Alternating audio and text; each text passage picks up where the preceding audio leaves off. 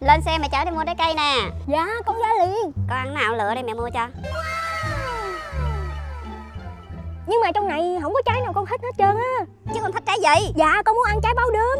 Mới nghe lần đầu luôn á. Trái bao đơm đó mẹ biết không? Trong Blood Food đó Mẹ hỏi lần cuối Ăn trái gì chỉ cho mẹ? Trái bao đơm.